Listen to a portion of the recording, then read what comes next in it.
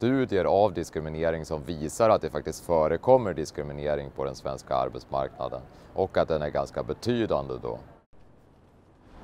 Statistisk diskriminering innebär ju då att om man, när man ska rekrytera en ny arbetskraft så är man ofta osäker på hur produktiv eller bra en viss sökande kommer att vara på det jobb man rekryterar till. Och då finns det ju en risk att man har uppfattningar då om genomsnittet i olika grupper. Till exempel då att en utrikesfödd i genomsnitt har sämre språkkunskaper än en svenskfödd och att man då använder då var den sökande kommer ifrån för att sortera bort sökande så att man då snabbt kommer vidare till ett mindre antal sökande så att säga. Och då drabbar ju det hela gruppen. Jag tror nog att det är ett ganska så stort problem eftersom det då är, ofta är väldigt svårt att i förväg kunna veta hur bra en viss sökande kommer att vara om man väl anställer den personen.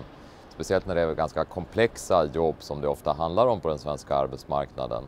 Och då tror jag nog att den här os osäkerheten då om att rekrytera fel kandidat är betydligt viktigare då som förklaring till diskrimineringen att man skulle tycka illa om olika grupper då och därför välja bort dem. För ibland pratar vi om då preferensdiskriminering då som skulle bero på att man tycker illa om att rekrytera en viss grupp. Men det tror jag är betydligt mindre viktigt.